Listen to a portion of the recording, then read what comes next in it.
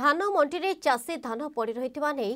ଚାଷୀଙ୍କ ମଧ୍ୟରେ ଅସନ୍ତୋଷ ଦେଖିବାକୁ ମିଳିଛି ଢେଙ୍କାନାଳ କାଲୁରିଆ ଗ୍ରାମ ପଞ୍ଚାୟତରେ ଏପରି ଅବ୍ୟବସ୍ଥା ଦେଖିବାକୁ ମିଳିଛି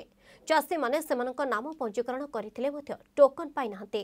ଅଣଚାଷୀଙ୍କଠାରୁ ଧାନ ନିଆଯାଉଥିବା ବେଳେ ପ୍ରକୃତ ଚାଷୀଙ୍କଠାରୁ ଧାନ ନିଆଯାଉନାହିଁ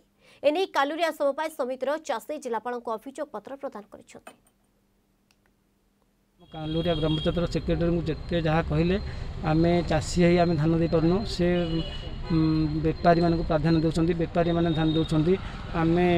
चासी है आम धान डाइट मौँ सेन्ट्रालाइजेसन अनुसार आसि टोकन तम टोकन अनुसार तम धानब पचारलि अच्छा आमर त मेसेज होला नि तबु मन्डि आसिक बुझिक सब मिस मन्डि आसि बुझी दिन आमे चासी र समय नै आमे सबै मिडिया बुझ्दापि आम बुझाप नआसे न ନ ବୁଝିଲେ ତମେ ଧ୍ୟାନ ଦେବନି ମୁଖ୍ୟ କଥା ପ୍ରାଧାନ୍ୟ ଦେଉଛନ୍ତି କେବଳ ବେପାରୀମାନଙ୍କୁ ମୋଟାଙ୍କର